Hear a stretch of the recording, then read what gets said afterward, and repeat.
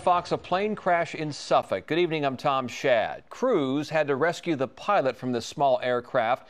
That pilot is expected to survive. That's the good news. And the crash happened around 3.30 this afternoon on North Liberty Spring Road. That's in the Whaleyville area. 10 your side's Raven Payne picks up the story from there.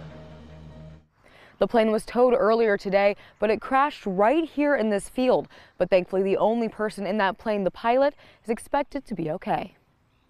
I heard a plane trying to take off, and then I heard a thud.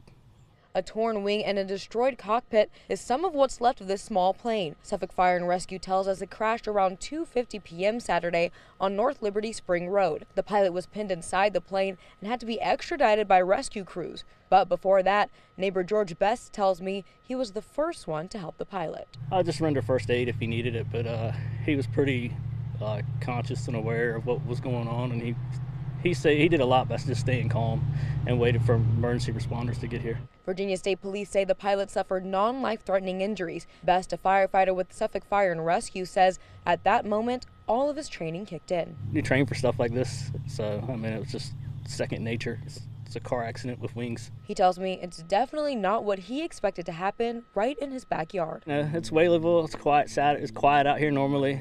Um, usually very uneventful. There's no word from police on what caused the crash, but we're working to find out that information and more. In Suffolk, Raven Payne, still on your side.